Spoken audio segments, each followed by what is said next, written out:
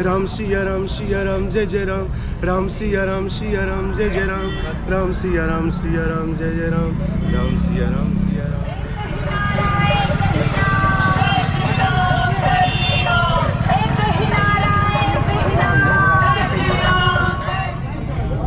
ના ના ભાઈ આપણે લઈ જવી છીએ આપણે અહીંથી પાઉલ લઈ જાઓ તારે એવું થઈ જાય और पर्स वगैरह सब लॉकर में जमा करना होगा जब आप अंदर जा सकते हैं। वो भी पूरा अंदर नहीं जाने देते।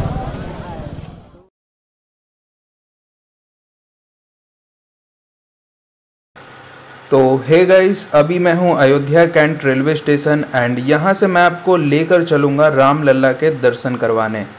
तो दोस्तों, यहाँ से एक डायरेक्ट बस सेवा चलती है जो कि आप सामने देख रहे हैं। ये ऑरेंज कलर की इलेक्ट्रिक बस है। जो कि आपको अयोध्या कैंट रेलवे स्टेशन से ईजिली मिल जाएगी और इस पर सवार होकर आप राम मंदिर तक का यात्रा तय कर सकते हैं। और इस बस का किराया है मात्र बीस रुपये एंड ये सत्रह किलोमीटर की दूरी तय करती है। यानी कि यहाँ से अयोध्या धाम सत्रह किलोमीटर दूर है। तो चलिए अभी इस बस पे चढ़ते हैं और उसके बाद वहाँ उतर के आपको दिखाते हैं। तो गाइस, ये बस हमें ले आई है गंगा घाट के मेन द्वार पर और यहाँ से अयोध्या नगरी सिर्फ़ ढाई किलोमीटर दूर है। एंड ये बस आपको यहीं तक छोड़ेगी, इसके बाद ये बस रिटर्न हो जाती है, अपने स्टेशन तक वहीं चली जाती है। तो ये देखिए कितना विशाल गेट बनाया गया है और यहीं से मेन एंट्री है। आप चाहें तो यहाँ से ढाई किलोमीटर का सफ़र ई रिक्शा पे तय कर सकते हैं। हाँ बाकी मैंने तो डिसाइड किया है पैदल ही जाने के लिए ताकि आपको नई नई चीज़ें इस रास्ते पर दिखा सकूँ। और देखिए मेन गेट पर सिक्योरिटी की पूरी व्यवस्था की गई है। चारों तरफ़ आपको पुलिस वाले मिल जाएँगे अयोध्या की सड़कों पे। और देखिए, अभी काम चल ही रहा है। कुछ कुछ हिस्सा इसका अभी बना नहीं है इस सड़क का। बीच बीच में देखिए, पौधे लगाए जा रहे हैं और ये लाइटें लगाने का काम कंप्लीट हो चुका है। और एक और चीज़ गाइस जितने भी यहाँ पे वायर डले हैं इस सड़क पे, सभी अंडरग्राउंड है, ना कि ऊपर के साइड में आपको जो दिखते थे पहले, वो सब हटा के अंडरग्राउंड कर दिया गया है। एंड देखिए, अभी आगे चलते हैं, आगे और भी कुछ दिखाते हैं आपको। ये देखिएगा इस कितने बढ़िया तरीके से इधर भी सजाई गई है। देखिए रंग बिरंगा नज़ारा आपको अयोध्या में चारों ओर देखने को मिलेगा। सड़कें भी साफ़ हैं। हर चीज़ क्लियर मिलेगी आपको यहाँ पर।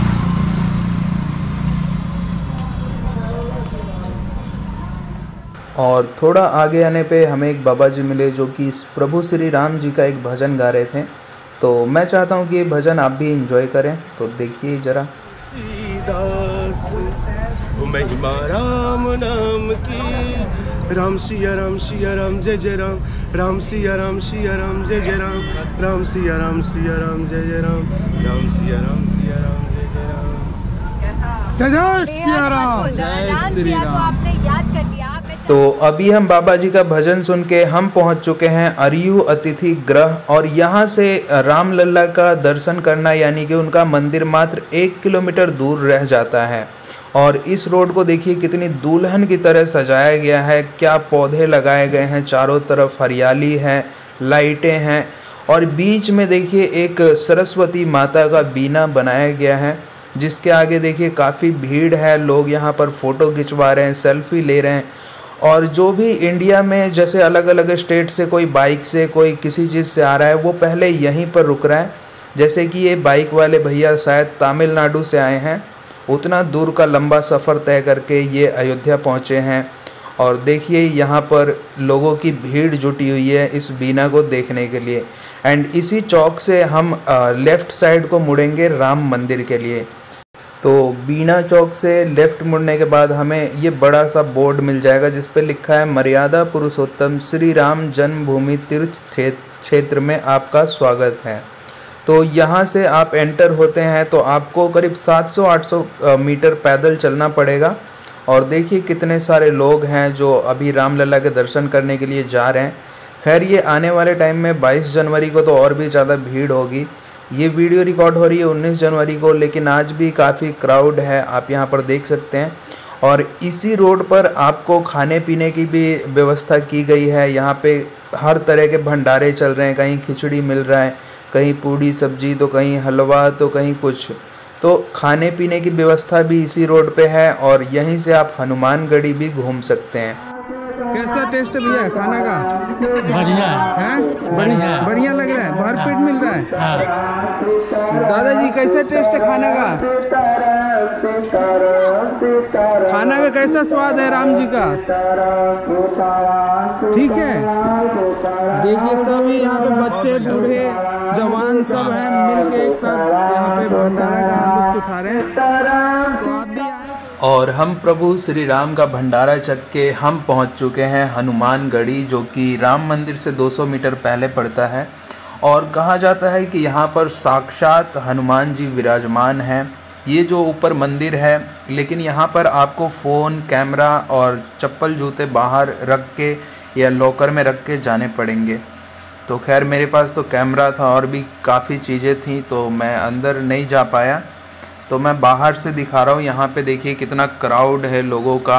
और इसके चारों दोनों तरफ़ दुकानें हैं, मिठाइयों की, यहाँ से आप प्रसाद ले जा सकते हैं। और हनुमानगढ़ी से हम महज 200 मीटर आगे चलने के बाद हम पहुँच चुके हैं प्रभु श्री राम के मंदिर के द्वार पे।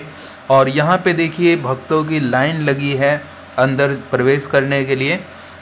यहाँ पे देखिए लाइन काफ़ी लंबी है और भीड़ भी है। और यहीं से मेन एंट्री है जो नया बाबरी मस्जिद को तोड़कर राम मंदिर बनाया गया है वहाँ जाने का। तो खैर, अभी तो ये पूरा अंदर नहीं जाने देते, बल्कि आप थोड़ा अंदर जाकर दूर से देख सकते हैं। बाकी बैरिकेड लगा है बीच में और यहाँ पर पुलिस की तैनाती है आर्मी की तैनाती है और लेडीज़ का लाइन अलग है जेंट्स का अलग है। देखिए, इधर लेडीज़ हैं, उधर जेंट्स हैं। अभी मेरे पीछे देख रहे हैं अभी लाइन लग रही है मंदिर के अंदर जाने के लिए। और ये दरअसल लाइन लग रही है ये आपको पूरा अंदर नहीं जाने देते बाहर से थोड़ा दिखाई देगा आपको। लेकिन इसके लिए एक वो है कि आपको अपना पर, जो भी इलेक्ट्रॉनिक का सामान है आपके पास फ़ोन है वॉच है या फिर गोप्रो है वो आपको लॉकर में जमा करना पड़ेगा जब आप अंदर जा सकते हैं। और मंदिर से कुछ कदम की दूरी पर ही यहाँ पर देखिए, निशुल्क लॉकर भी है जहाँ पर आप अपना सामान जमा करवा सकते हैं और मंदिर के बाहर आने के बाद ले सकते हैं। बाकी यहाँ पर प्राइवेट लॉकर्स भी हैं, उनमें भी आप रख सकते हैं, लेकिन उनमें कुछ आपको पे करना पड़ेगा बट ये बिल्कुल फ्री है। तो आज की वीडियो में इतना ही गाइस आई होप कि आपको ये वीडियो अच्छी लगी होगी एंड आपको रास्ता समझ में आ गया होगा। बाकी कोई डाउट है तो आप नीचे कमेंट्स में पूछ सकते हैं और सभी एक बार ज़ोर से बोलें कमेंट बॉक्स में जय श्री राम. लोग काफ़ी ज़्यादा। जय श्री राम। ये देखिए